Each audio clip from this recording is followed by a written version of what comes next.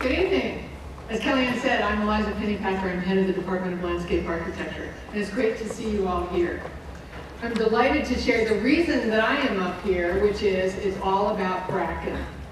So our Bracken lecture series was endowed with the generosity of our longtime head, John R. Bracken, who led our department amazingly, in my opinion, from the 1920s to the 1950s.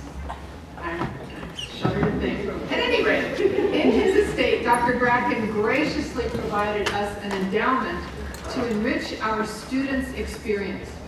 So we began the Bracken Lecture Series in 1982, and each year we choose one fellow, a professional whose inspirational work is at the highest level and that individual is awarded the Bracken Fellowship, the highest honor that our department bestows. And this year I'm very proud to say, in case you haven't figured this out yet, that Jack Dangermond is our 2019 Bracken Fellow.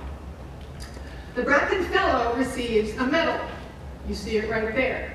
Designed by Penn State medallic artist John Cook. The front shows the corona of the mountain laurel, which is Pennsylvania's official state flower its presence representing our commitment to our native landscape and to our Commonwealth. Now, it's a good thing that it's projected up there because y'all can't see the real deal, which is right here. It's kind of nice. It makes a good paperweight. With this medal, Jack, you joined some illustrious company. We talked about some of them last night. Ian McHarg, J.B. Jackson, Stuart Udall, Fritz Steiner, Anne Spirn, David Orr, and of course, Garrett Eckbo. We, inside joke. We're delighted that you are here, and we look forward to your talk. Thank you so much.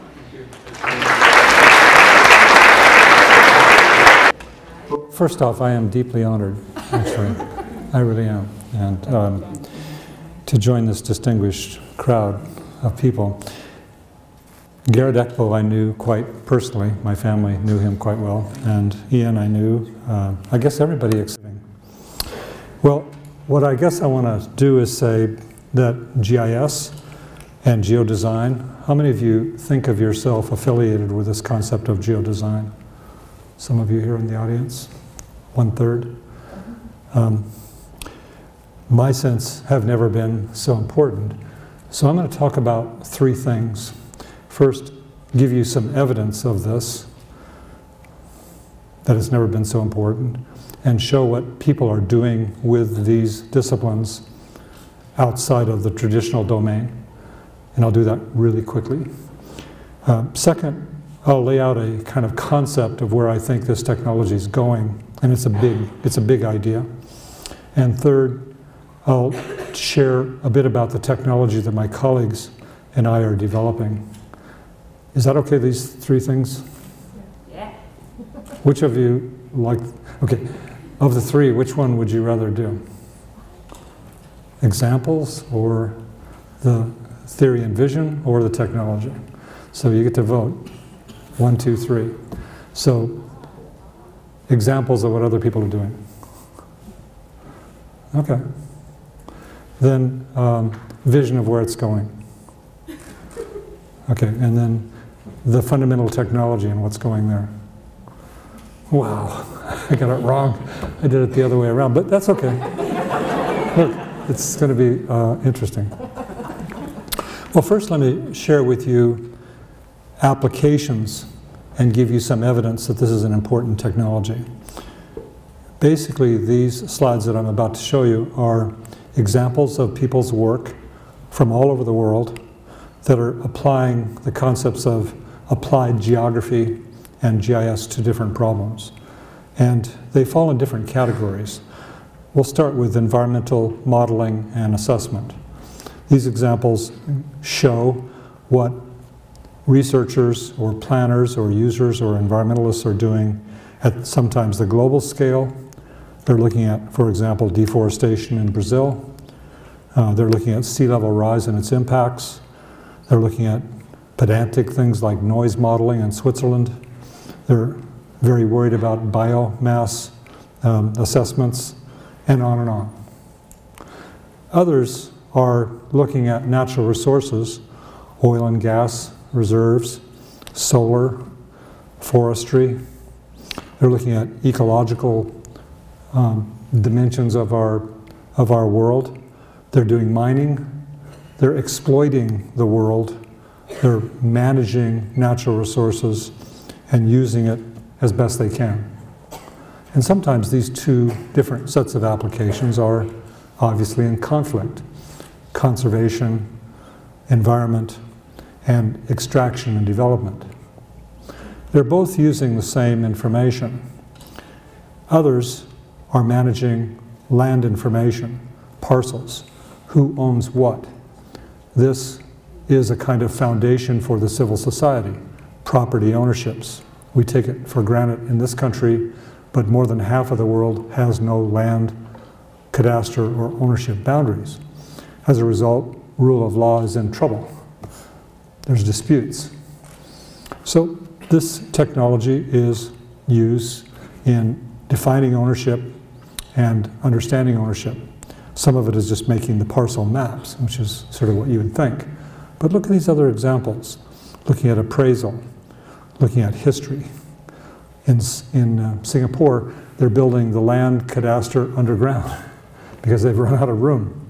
So it's a, it's a, it's a foundational data set. In the urban design and urban planning space, people are creating new towns, like this one extending in Abu Dhabi in both 2D and 3D forms. They're doing regional and, and urban planning, like in London. They're doing redevelopment planning in Korea, and just traditional zoning and transactional planning, like in Southern California. Others are doing conservation planning. They're looking at those hotspots that need protection. They're laying out plans. They're designing habitat corridors. They're looking at all the fabric of geography, modeling it, coming up with plans. And yet others are going in the direction of putting into GIS's buildings or campuses or cities for visualization, for space management, for finding your way, for finding your way through a campus. Something that I probably would have needed this morning if I were here alone. And these examples show the application of this technology in, in utilities and telecommunication. And some of it is definitely managing the assets. Where are the wires? Where are the power poles? Where's the distribution networks located? But other ones are giving us insights into real-time what's going on. And in the area, area of 5G, a line of sight modeling is very important. So in the upper left-hand corner, you see people designing a network which is invisible physically, but yet is based on the ability to see around buildings or with buildings.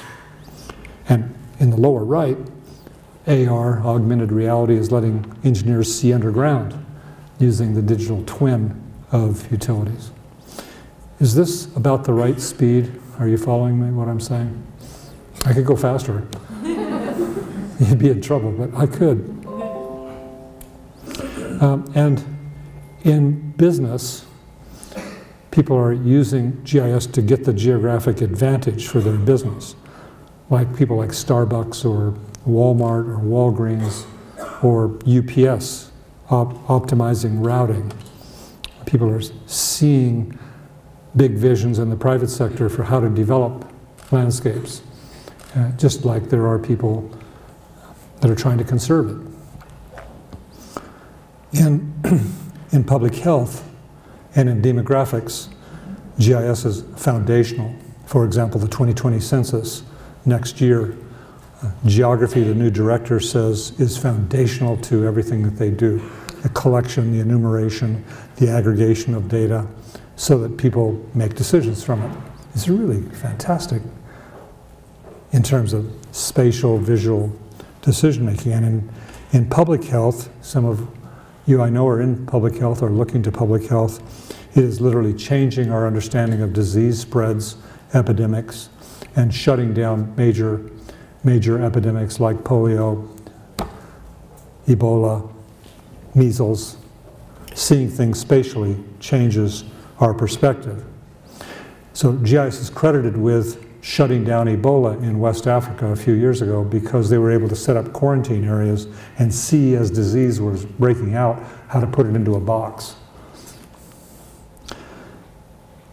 Our world, our cities are safer because people can now see not only where crime is happening, but also address it with real-time crime density, with predictive analytics, like uh, in that center thing, uh, where will crime possibly break out? It's not perfect, but it gives some indication.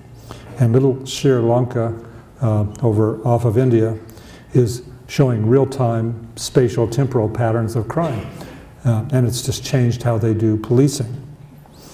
Over in the left-hand corner, down at the bottom, you'll see the city of Philadelphia is looking at all the parameters that are necessary to figure out where to invest in more protection or more policing or more infrastructure.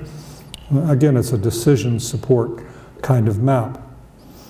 I'll come back to these because in some ways, these are all examples of spatial thinking and supporting decision making, like where to locate, where to address, like that. We are seeing in our planet increasing need for preparing for and responding to disasters. These are examples of, for example, migrant rescue in the Mediterranean, um, fires, in my state, we see the states burning down. And our governor, um, Newsom, perhaps some of you have read about him, he's amazing. He came and spent a day with me to figure out how he can get fires in a box. Is that interesting to me? I, I'm totally amazed that a man of that stature would do this. And homeless. How do we get homeless in a box? How do we deal with these substantive issues of hurricanes and disasters and, and respond to them? Now, an interesting thing is happening. I have millions of users. It's a huge responsibility. They buy little tools from me, they set up systems, they do work. And one of the big trends I'm seeing is these people are all opening up their data. They're put, putting it on the internet with trends of open data portals. Uh, but typically, open data is not enough. I mean, open data, what's a person, normal person do with open data? You know, uh, but open services, like open maps that tell stories, are increasingly becoming prominent. Billions of maps are being made every day. Not just the Google Maps fly around like Superman, but I'm talking about maps that engage people. So citizen engagement through mapping is coming alive. And sometimes within organizations, complex organizations like cities, we're seeing the serving of maps from one department to another so they can mash them up and see the whole. One of the big promises of, of geographic thinking and GIS is this idea of putting all the pieces together again. So in complex organizations, portals and open data and this set of apps that engage people uh, is one of the big trends. Well, that's sort of enough of a profile do you get what this is about? I mean, it is, it is becoming pervasive. It's virtually touching every major challenge that we as a species are dealing with, from climate change to, to uh, little things like uh, where to locate Starbucks. Fun. The second thing I'm going to talk about is what's next. Now, this is a perplexing question and for each of you, it's going to be different. So I'll simply ask these questions. What's next for you as a person? What's next for your personal career? What's next for tomorrow? but what's next for next year? Have you got it wired? What's next for you during your career? And some people, when I ask this question, what's next, they'll say, um, well, what's next for my family? Or what's next for those friends that I'm closest to? And another way to think about what's next is what's next for uh, Penn State or the little city here? Or what's next for Pennsylvania? Or what's next for the United States? Or what's next for the planet? Don't these ideas go in your head a lot? Like every day you open the paper, oh my God, that's gonna, what's, what he said was, you know, sort of things. So it's a provocative question. What's next? So coming from where I have come, my thought about what's next is that it needs to be more guided. And so the vision I want to share with you is the idea that, that GIS can be a kind of intelligent nervous system for our planet. Now, most of you know what a nervous system is. You all have one. Mm-hmm. You're humans. And they, of course, do stimulus response. You see something, you respond. But they're far more than stimulus response. Central nervous systems, meaning your brain, take in lots of information. They integrate data from many sources what you see, what you hear, what you read, and then you integrate this data somehow. That integration process, we don't know exactly how to explain it, but we do it. And then we think about it. We use logic, reasoning, sometimes emotions, uh, sometimes ethics, and then, and then we respond. But we don't respond just stimulus response. It's not just one thing. We do coordinated response, don't you? Well, most of us do, except sometimes you do stimulus response. But the process is intriguing to me. And the world that you and I live in is, it resembles a kind of living organism. It's uh, full of life. Um, it's complex, it's a kind of ecosystem. Things are interconnected. And they also, it's all about self-healing. Our natural environment heals itself as it gets into trouble, sometimes. And we would say resilient. It's a common theme that people like to use these days. It'll be resilient. That living organism's also always changing, and you and I are a big part of it these days. People describe it that we're a huge part of it. Now, thinking about digital technology, which I do a lot of thinking about, uh, it's if we look back in the last 25 or 50 years, it's, it's literally transforming our world. It's co-evolving with us as humans. Now, technology has always had this role. You invent technology, humans adapt to it or embrace it, and humans evolve. But with digital technology, it's accelerating really fast. I mean, it is really accelerating fast. And that has been fantastic for, for the privileged, for you and me. We live in a enriched world. I mean, this is just incredible what we have. Medicine, um, literacy, access to the world's knowledge, advancing civilization on all fronts. And, um, well, it's lovely to live at this particular point in history. Except that our little human footprint is creating massive challenges. It's, we're overpopulated. Some people say by about, um, well, several times. We are consuming the natural resources at a rate that's overextended. Some say about 1.7 consumption of the sustainable natural resources. And we see the evidence in this in climate change. We see the evidence in it in rapid decline of certain species. We see it in the evidence, uh, the evidence in social conflicts and political debate. We see the evidence in inequality socially, globally. All these things people write about and talk about on the evening news every day. Not good. And frankly, it's not sustainable. All the arrows are going in the wrong bloody friggin' direction. I'd use other words, but people would not like that. Not good. Our friend, Dave Cinnamon, would use other words. Yeah, uh, he would have. Yeah. Not good. So this is a dilemma. So each of you, I suppose, contemplate this in your personal lives, whether you have a family or not. It's a sort of like doom and gloom, uh, dismal uh, future.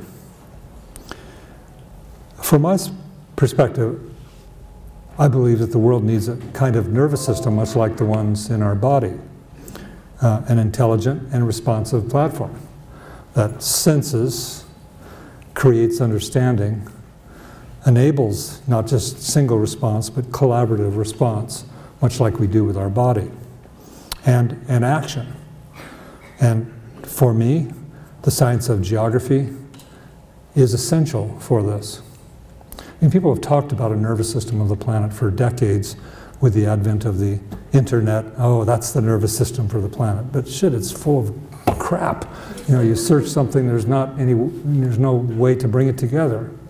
But geography is a way to organize things. It's the science of our world.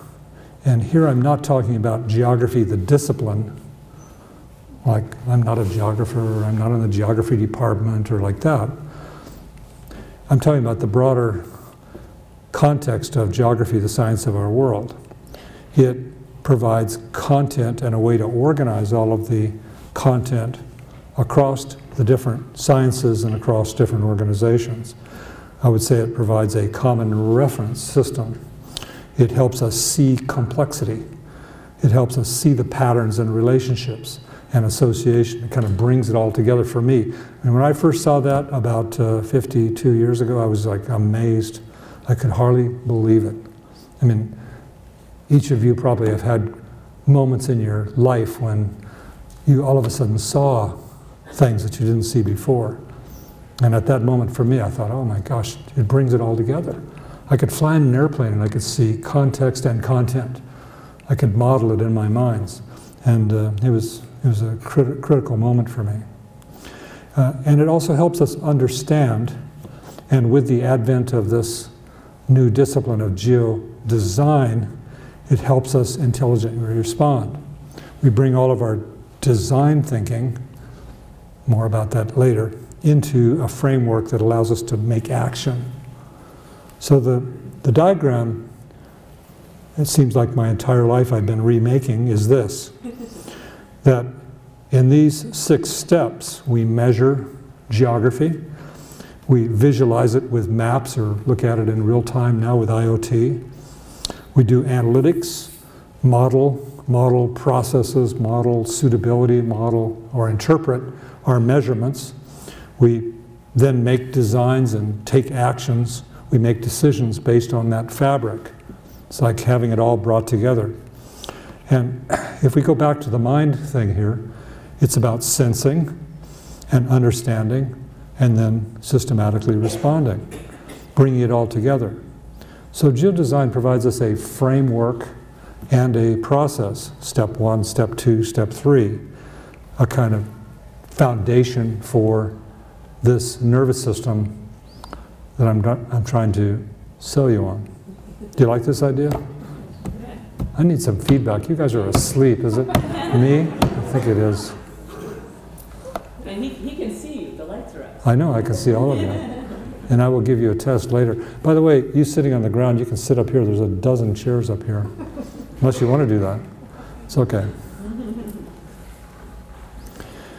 Look, when in most of my career I've worked on this thing called geographic information systems. And this supported doing little projects on a desktop or in a mainframe computer.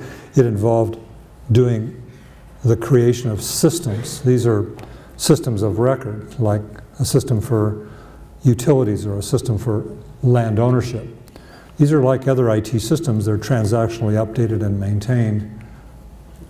They're like money systems or personnel systems, they're geographic systems. And systems of record are a fabric for not just administrative work, but also for science itself. We are, in, we are learning how to do survey measurements as a transaction on a database that other people can use instantly. The third step, which is what excites me most at this point in my career, is that these systems are starting to get tied together into a system of systems. This is done with web services and a portal which references the different distributed systems so that I can ask a question and it can go out and pull data together for me and weave it together using location um, to do the integration. This is a broad concept that I'm going to come back to again and again. So GIS is actually already creating geospatial infrastructure for cities. Little projects, little systems are being woven together, creating a nervous system for cities. I'll show you a few examples in a minute. Connecting everybody and everything in the city and applying this science, the geographic science, to behavior or work in the organizations. GIS is also beginning, and this is just beginning, but there are millions of people doing it, are also contributing to global geospatial infrastructure. So look at the diagram. Little projects are being shared with cloud into cloud machines uh, with internet connections. And little systems that run inside of a city or in a county or the Forest Service or a BLM or like that are being referenced into portals that can be searched and connecting the information, we can bring it together. This is sort of almost invisibly happening. So what is this actually, geospatial infrastructure? You can look at the icon, the thing in the center, and it shows a lot of distributed little computers. What it is, is GIS at scale. It's the same concept of overlaying different maps, but now the maps are living all over the place. And I can dynamically search and mash up data from distributed systems of record or little research projects that might be done by a graduate student here or you know, designing something like that. And that collective, that collective body of knowledge can be searched and accessed by an individual or a team. People in different locations can begin to team, sort of collaborative use of data and sharing it. Um, and also this platform is starting to open up and connect with communities. So through the power of mapping, something I spoke to some of you students this morning about, mapping is becoming a common language so that people can understand what's going on in government. They can look not only at charts and graphs, but they can see the patterns, where the investments are going on. So this whole thing is, is uh, going at lightning speed. What does it provide us, geospatial infrastructure? It means me sitting at a workstation or in a browser I can connect with distributed, distributed capabilities on other people's machines. I can say, I want some AI done, let me just send it over there and connect and get the results back. Or I can bring the data from different distributed machines into my machine and connect it. It's like I, I have a hard time describing this. Anybody have an iPhone here? yes, or some, some people do. So I was always um, intrigued why Steve introduced this in a technical way. He described it as this is a, it's got a cool camera in it. It's got, uh, I can do my email on it. Um, I can, you know, listen to music on it, all that stuff. He never got up and, you know, if I were him, thinking back, of course, I would have got up and on the stage and said, ladies and gentlemen, I just invented something that will allow you to look at the entire Library of Congress in your hand. You can get at access every piece of music, every piece of knowledge that has ever existed through this little device. What a difference. And this is nowhere near that impactful, or maybe it is. What I'm saying is that distributed geographic knowledge can now be accessed through this web services and brought together as maps and models assembling dynamically the geographic knowledge of, of millions. I'll come back to this a few times this morning, this afternoon. And there's some building blocks to this. How does this happen? The first concept is, um, you know, there's an acceleration of data collection. So on the web now, I can read in BIM models, I can read in LiDAR, I can read in 3D data, I can bring in topographic maps, I can read in imagery, I can read in unstructured data. I can bring it all in by leaving the data on the machines where it lives. If it's in Australia, just leave it there. But I can view it through an abstraction. Now that required the ability to do dynamic abstraction. That's a cool thing. Some of you will understand this, some of you won't. It's all right. Just get the concept of it, that I could actually bring to my fingertips data on every machine, and no matter what the data format is, I can turn it into a map layer, and I can overlay these map layers to look at relationships and patterns. So that's kind of the technical way that it's done. In other words, I harmonize dynamically the data. And some of the data can be real time. Like where are all the buses right now? Where are all the Uber cars? Those are sort of examples of single, um, you know, views of maps. But imagine I could do that in software that allows me to integrate all of that and mash it up. It can integrate different kinds of models, landscape models, city models or SIMs. It can integrate zoning models or ZIMs or BIMs. I just made this up last night. I, thought, I hope you like it. LIMS, SIMs, ZIMs, and BIMs. I got sick of the architects owning the show here. Not that they're bad, it's just, you know, different kinds of models. So I can dynamically integrate this data from many sources. And through that integration, I can feed apps for many kinds of individuals. I can look at uh, doing GIS projects like I did 50 years ago. I can look at doing geodesign work, sketching. I can do data visualization. I can build dashboards. I can do data science. I can view this assembly of distributed data dynamically and put it into an app and disseminate that app to everyone. Uh, again, those of you not in software engineering cannot um, grasp probably what this has taken, the ability to integrate all data, harmonize it, and then be able to support in a simplified form access through any device, anywhere, anytime. And so this is just beginning. It's, the idea is not beginning, the engineering is done, but the implementation of it will steadily roll out. And more comments about that in a moment. One element of that is that maps will become pervasive, not the Google map thing, fly around like Superman, who gives a damn. I'm talking about the real rich map related information that's authored by people that tell stories. And it, that language, that generation of language will mean a new generation of email. I would call it Gmail, but Google already did that, kind of geography mail or map mail.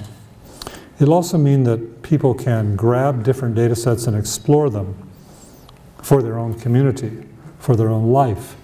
They can do simplified spatial analysis for, for just hunting for relationships. What's the, what's the relationship between breast cancer and the toxics off of Long Island? Just for fun, let's take a look. Is there anything there? In other words, be amateurs like what's happening in the astronomy community with amateur telescopes. Just imagine opening up all of the geographic knowledge to normal people and making it simple enough to do mashups and connections. It will revolutionize the way people think. And adding to that, let's, why not bring in all the new Earth observations, the hundreds of satellites in different resolutions.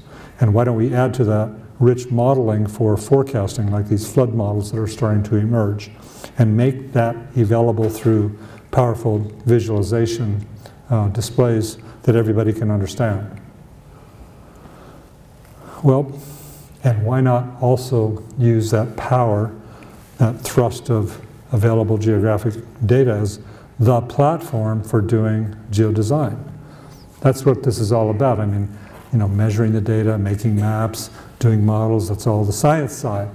But turning it in the hands of designers so they can design more intelligent cities referencing the real-time data or design landscapes in various ways uh, is going to be very powerful. That will be for you.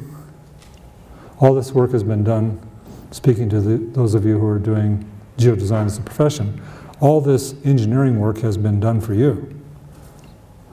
and it's just beginning. We will see the ability to have geospatial green infrastructure defined here for the whole country or the whole world. Ed Wilson is, is one of my good friends at Harvard, um, biodiversity uh, person, and I are teamed up to map biodiversity for the whole planet. It'll take about four years, but it's going to be powerful. This is a, a mere beginning of green infrastructure that one of my colleagues, Hugh Keegan, I think shared here a few months ago. And he showed how this green infrastructure framework could be used for regional planning, local planning, urban planning, not just the technologies or the data, but the concept of it uh, will be there. So geospatial infrastructure is not about just your work, it's also about sharing your work and engaging communities, bringing people together. So what we're seeing is the ability to take geospatial infrastructure and put it out through maps and apps that are engaging to people. Oh, that's kind of fun. It's like playing a game. It's like playing Pokemon Go, um, except with real live data underneath it. So I see this is just, just beginning so that instead of urban governments run by bureaucrats, it'll be urban governments that, that promote, that make available geographic data for, for citizens and they get involved. They get involved in their town um, in the same way that social media is involving everyone. Geosocial media will involve everyone constructively, citizens, academics, participating in you know, the, whole, the whole deal. So that's happening.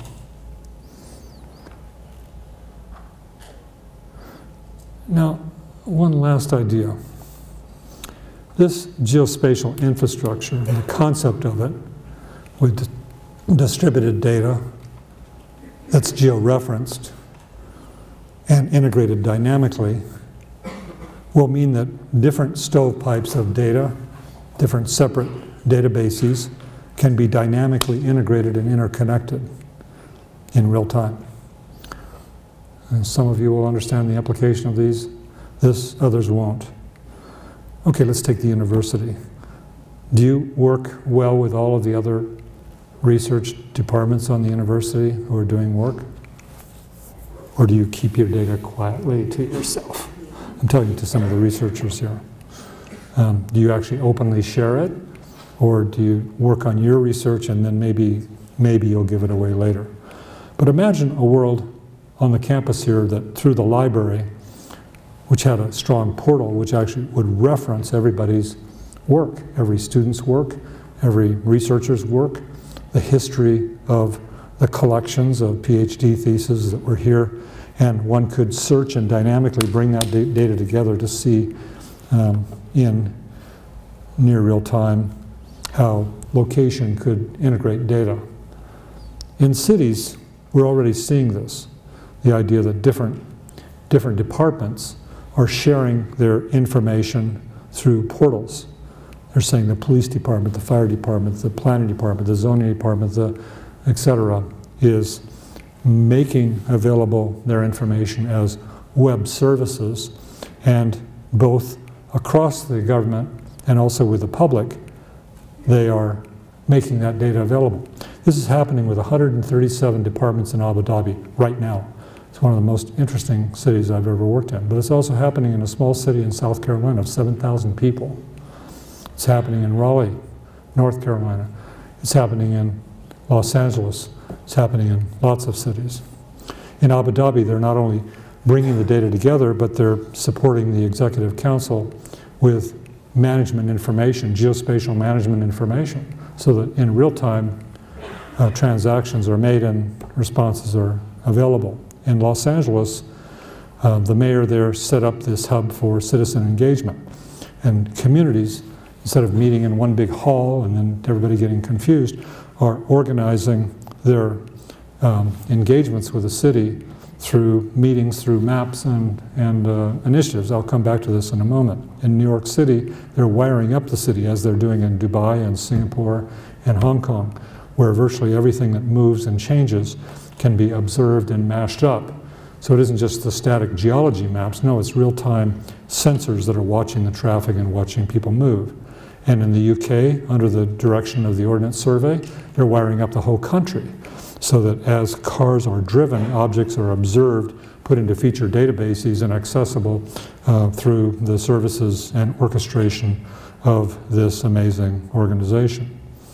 What we're talking about is creating a responsive infrastructure that looks at changes in real time and allows integration in real time of the information. Now, not all of it is running fast, but some of it is. A couple weeks ago, I was in Indonesia. The little slide in the upper left is showing all in real time all the ships that are moving off the coast. And you can funny, see that funny yellow line. That's because of the, when was it, some miles out, fishing boundaries, you know, so you can see it. And floods. Um, and then in the lower right, the UN, for their sustainability work, the SDGs, uh, are wiring up all the different countries reporting their different indicators for, for, um, for the world. And serving those through this portal so we can see a map of how we're doing, how we're doing with inequality, how we're doing with vegetation loss, how we're doing with agriculture. So this is, is, this, these are just amazing beginnings. So the second, I'll conclude my second part. The, the geospatial revolution, and somebody asked me about this earlier today, is it, where, where are we? Um, and where are we with respect to geodesign, this concept of linking science to, to design?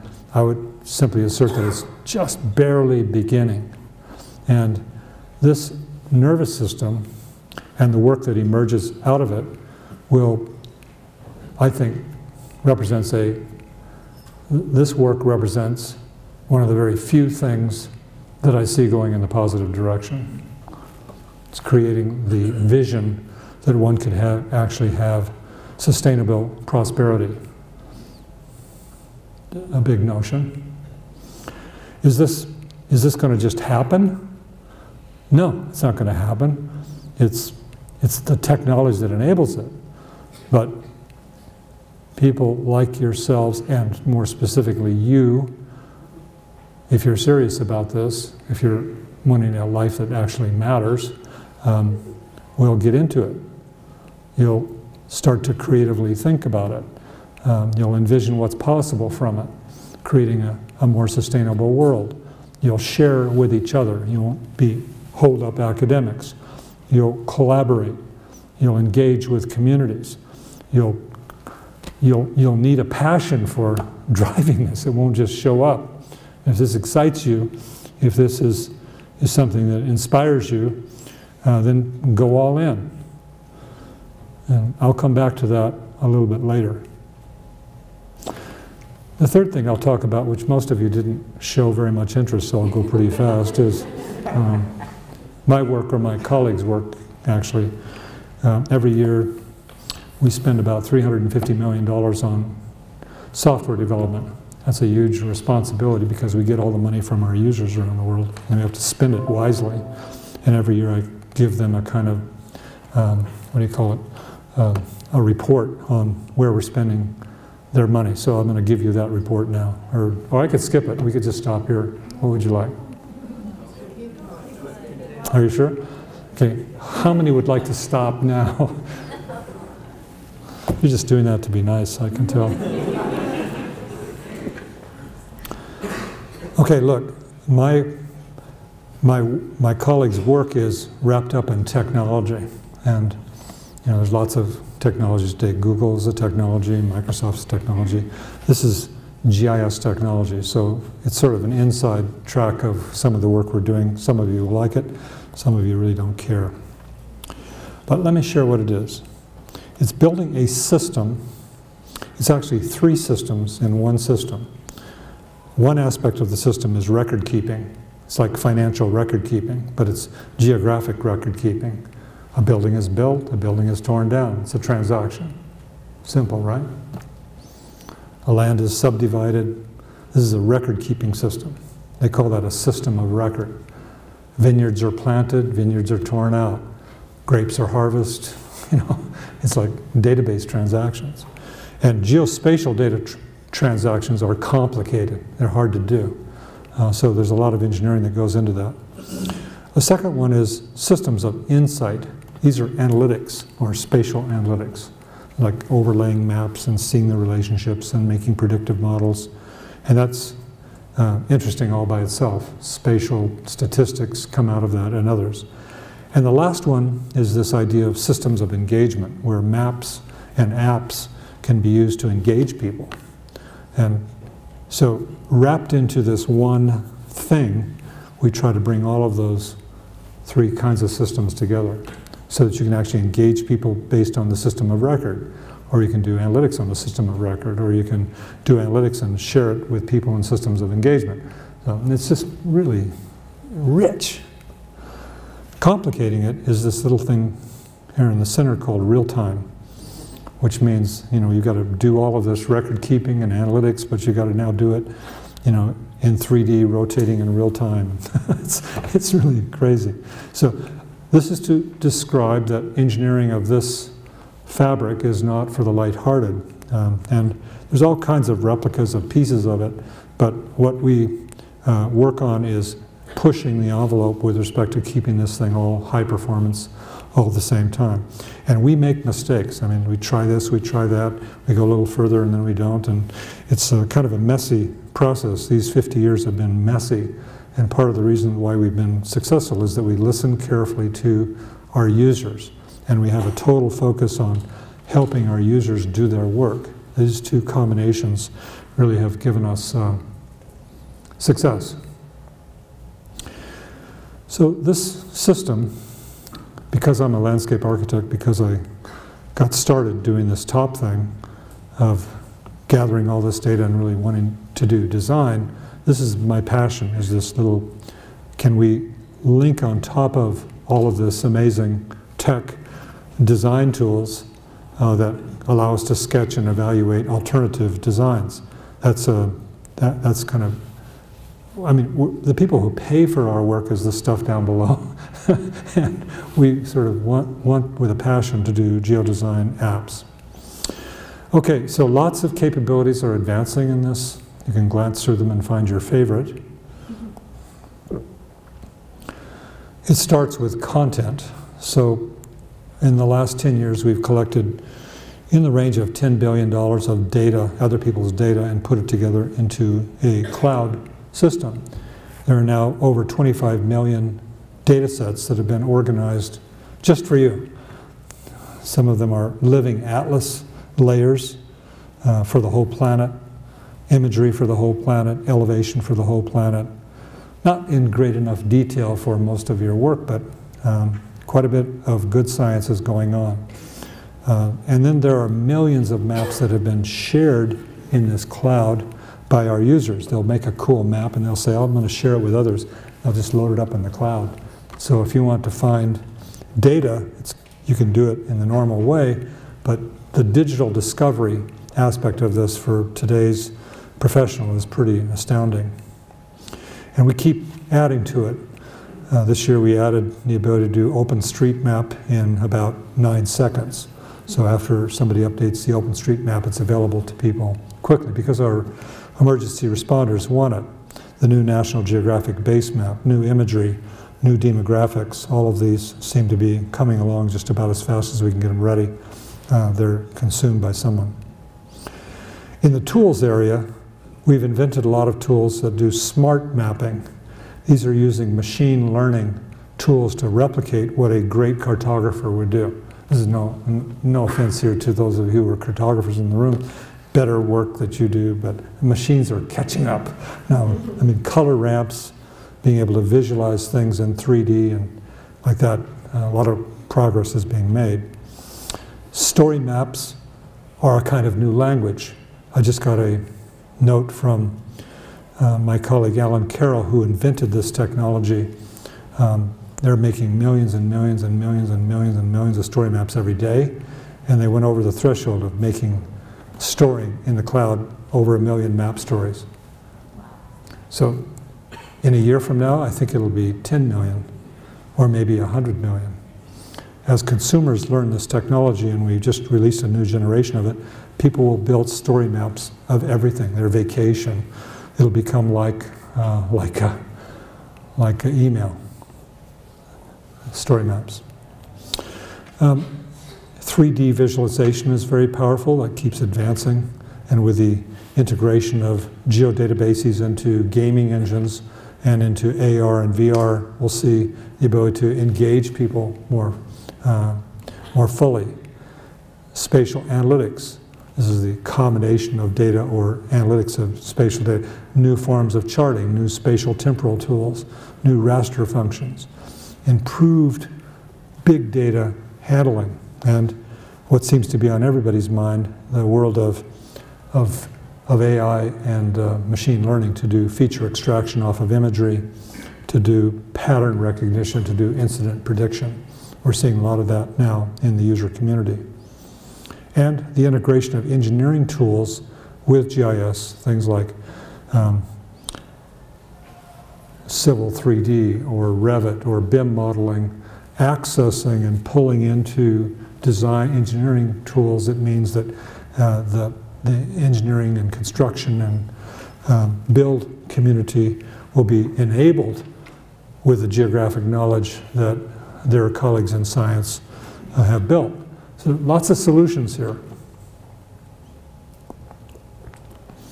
And more real-time operations dashboards are now, there's just hundreds of thousands of these are reporting on, on virtually everything. Room temperatures, um, where the enemies are, where the, where the, where, where, what's the progress on the race, what's the, what's the traffic, what's the situation. Used to be that you'd buy one of these big multi-million dollar uh, rooms and watch, you know, like the president watches something. These are now commonplace. Even on iPhones, you can see, see uh, in real time what's going on. And speaking about that, this is an example of the kinds of apps that are being used across the community, not only the dashboards, which are in the lower left, watching people in the field, but also location tracking um, and field data collection. Survey 123 and its corollaries are being used in the 2020 census here in the United States. Uh, the census that's going on in the Philippines, they're carrying one of these, they're doing the census dynamically.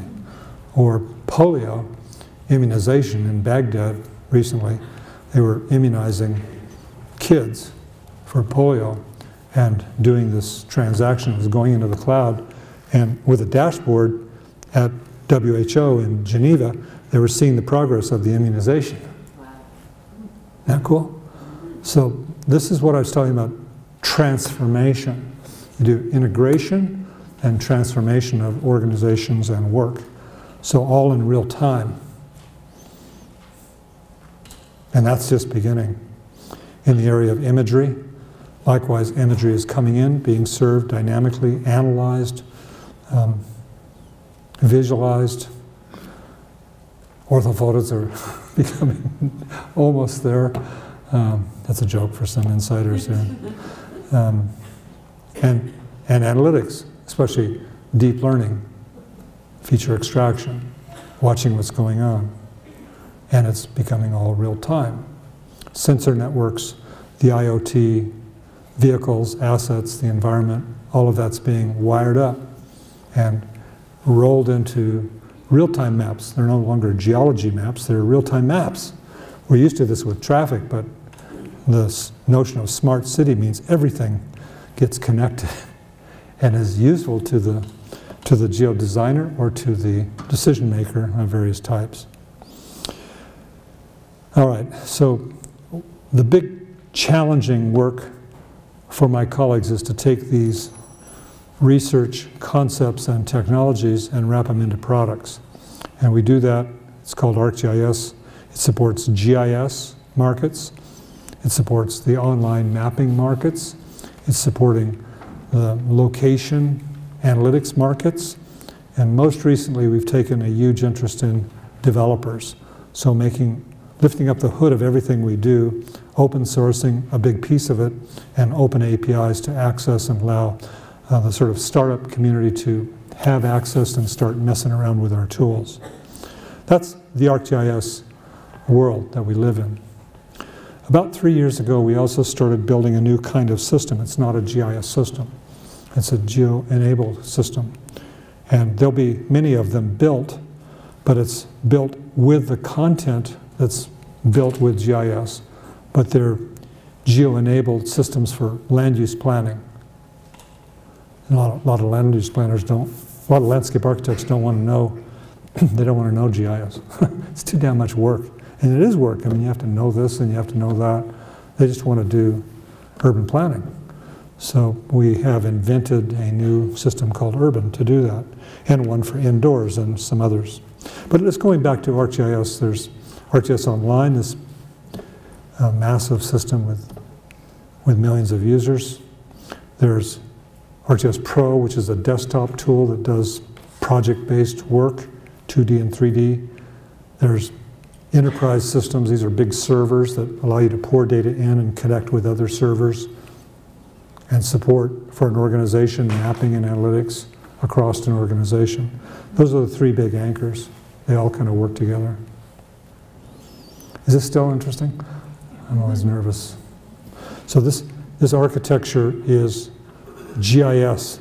and one of my colleagues said, Jay, Jack, you keep putting more raisins in the muffin, you know, every year.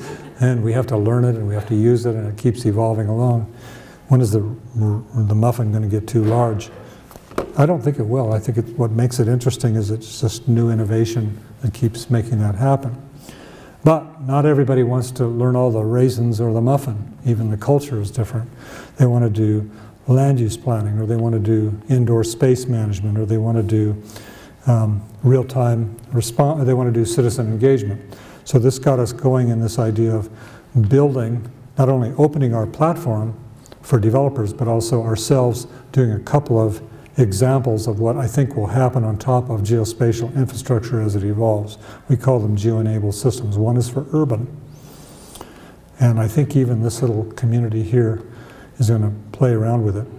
This is the idea of putting in projects into a database in the sky and seeing it in reference to the urban um, 3D model of the city. And then also planners putting in plans, zoning plans, land use plans, and, and letting it be seen not only by the planners, but by everybody in the city. So up in the upper right-hand diagram, you can see, I think it's San Francisco, these different colors on buildings. Those represent different statuses of, of, um, of every building, of every lot. So it's going to revolutionize real-time urban planning because every builder will be able to test their building, every architect will test their building, they'll see the impaction on traffic or, or noise or view sheds in reference to the urban frame. A second corollary and related technology is Hub. This is where the city can open up its data, both as open data, but also as, as maps with initiatives to say, for example, the mayor might want to stop traffic death or might want to uh, address homeless, but they don't have enough staff to do it. So they want to get all the citizens engaged in it, like you would in a community meeting. And so it's a technology to organize communities with digital media, uh, leveraging everything that you can imagine. And the third idea is for taking the concepts of GIS to the indoor space in talking with your president here this morning, I suggested that you should really do this on campus to find your way around. That's not a criticism. Wayfinding or space organization or operations management. And some of you might find this interesting, is just to push the envelope and take the very tools that you already have here and have uh, you know, indoor positioning so you can walk in the door and the little green dot follows you and you can find your way to to somebody's office easily, or there's a new, well, whatever. Do you guys like this idea, or you're not laughing at my jokes? Uh, I'm really getting nervous. So I've covered what GIS users are doing around the planet. Um, and there are a lot of them, and they're ambitious, and they're growing this field I've talked a bit about the vision that we are moving from GIS to geospatial infrastructure, a new kind of platform. In that space, I've hinted that geodesign is, is an important ingredient. And then I've shared with you some of the glimmers of what we work on in, in, our, in, our, in our development labs to try to push the envelope. Most of what I've shared here is already technology that's out. And so now we're looking at what's next for ourselves um, in engineering.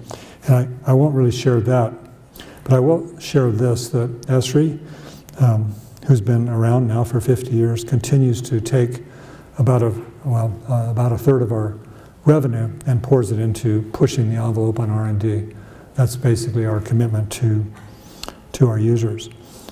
Some of you from business backgrounds asked me earlier this morning, what is one of the ingredients of our success? I think it has been taking on this idea of serving our users. So our big ambition is to build great tools that help our users do their work better. So we take all their money and we spend it. It's, it's an amazing organization. Um, and in the process of serving them, we also have the ambition to make a difference with our organization to address some of the greater challenges at, um, at the same time. So I've covered this idea that GIS is, is, is evolving into a, a new stage. It's no longer individual projects or systems. It's becoming an infrastructure that is powerful and it will become a responsive nervous system. And this is going to change things. I mean, it's my only shot at making something big really matter. I think this will happen. It'll reshape how people think, how they do their work. It'll make people smarter because they see content and context of what's happening from climate change down to you know grading the backyard of somebody's farm. Uh, this, this could be quite impactful. And so as, as geodesign professionals, or I might say just as professionals, for those of you not involved in geodesign, this means the work of individual scientists, individual workers, adding up, connecting, sharing information becomes something, something larger. It means that your content and your collaboration can influence the future. And in many ways, that's what we all yearn to do, isn't it? To make a difference in our lives, whether it's your children or grandchildren or kids or um, saving this or working on that. Um, it's my experience that people really want to make a difference on the future. And I think you now have, unlike me when I started at your age, you have technical means to create more sustainable solutions. I think managing the human footprint, those very slides I shared, um, could be done. Conserving nature can be done. Protecting our environment can be done, but it requires clever people that can think and design that into being. So to realize this kind of future it's kind of a sustainable future. Because right now, it, you know, the, the bad news is right now it ain't sustainable. No kidding. Mean, I, I hate to be a jerk about this, but nothing, none of my colleagues in the academy or in science around the world believe that this is sustainable. It ain't going to happen. So, to realize a sustainable future is going to take more than simply you know, GIS technology. That isn't going to do it. It'll require all of our best thinking, mobilizing, getting our friends to understand it, you know, cutting population in about half, um, saving nature wherever we can possibly do it. It'll take our moral strength, it'll take all of our best ethics, uh, and it's just going to also take a lot of damn hard work, to be honest. I mean, it's not comfortable work. Um, and so going all in is the way I describe this. It's the, the message I want to leave you. And I can't convince you about this. This has got to be only you can do that. You can, you can think about it, you know, playing at 100%. I've said that a few times today. Um, I think we all have to play at 100%. We have to go all in. And, and uh, I'm repeating myself now. But anyway, ladies and gentlemen, thank you very much for this uh, distinguished honor. I will treasure this. Thank you for that. But uh, more importantly, I want to just leave you with uh, you are playing here at this university with something that's magical. I mean, geodesign, what you're investing in, your, your president is on board, uh, the students that I've met, thank you very much for sharing what you're doing today. Um, you, have, you have a real shot at playing, playing this way. And I mean, the motto of this landscape architecture department, somebody told me on the way here, um, what is it again? Inspired work grounded in environmental and social Inspired work grounded grounded in in environmental environmental and social work. Sounds like geodesign to me, really. anyway, thank you very much.